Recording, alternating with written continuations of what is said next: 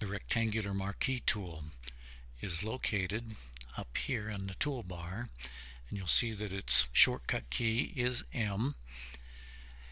To basically use it all you have to do is just click on a corner and drag. I can jump that selection to a brand new layer using the shortcut key Command J. Control J on a PC. So you see now I have a new layer. If I turn off the background layer, there it is with my selection.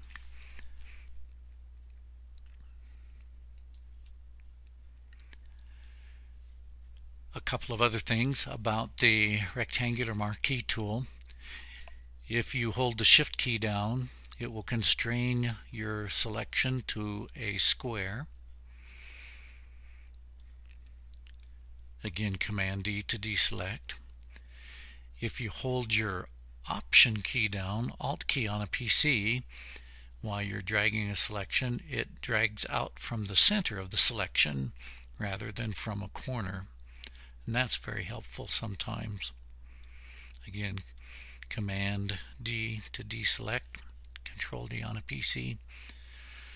Now let's say I've started a selection but it's in the wrong place and I really need to move it into place but I know if I let go of the space bar or the, the mouse that uh, the selection will be made if I hold the space bar down while I'm making my selection then that allows me to move the selection around on the screen and then when I let go of the space bar I can continue my selection until I have it just right. There are a couple of options up here in the option bars that you should understand. These little icons, uh, this is your, if you hover over them first, you'll get uh, what they do. This is a new selection. This one means add to the selection, so if I add, that got added. This one is uh, subtract from the selection. So that subtracts from a selection. This one intersects. So wherever I draw a selection now, where the two selections intersect will become selected. Now for the feathering. You need to adjust your feathering first, but let's say I want to feather this, oh, 24 pixels. When I make a selection, it feathers that selection. Let me jump that to a new layer and show you what it looks like. In fact, I'll uh, turn the background layer on and fill it with black so you can see better. So you see that the, the, the, the selection has been feathered, um, which is, is helpful sometimes when you need that soft edge. There are a couple of shortcut keys.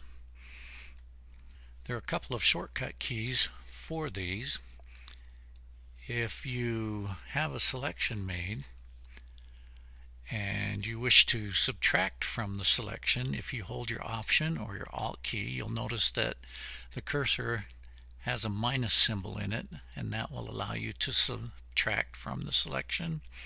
If you wish to add to a selection, you can hold down the Shift key, and that adds to the selection. If you hold down both the shift and the option key, that does the intersection. That's the marquee.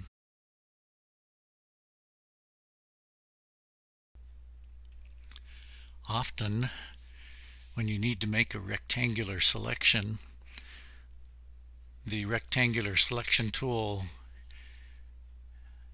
can't quite do it uh, because it's a rectangle. It's not in the shape of that dollar bill.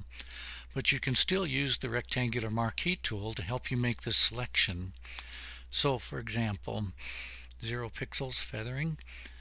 So let's say I start at that corner and make a selection. It's not perfect yet, but if I come inside the selection and do a right mouse button click, there are some things that I can do. One is transform the selection, and that works just like using the free transform tool that you are, learned about in an earlier lesson.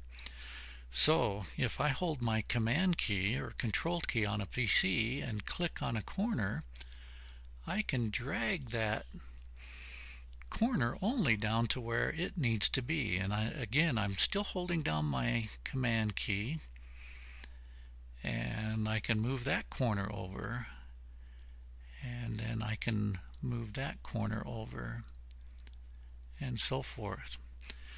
It's still not quite perfect, but it's much better. I can go in now and I can um,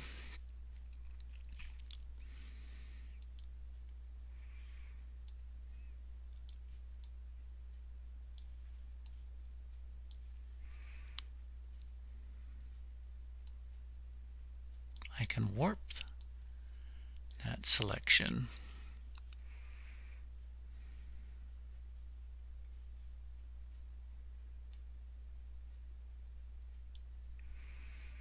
and then when I hit return you can see that I've got it nearly complete so just be aware that you have all of those transform functions right within a rectangular marquee selection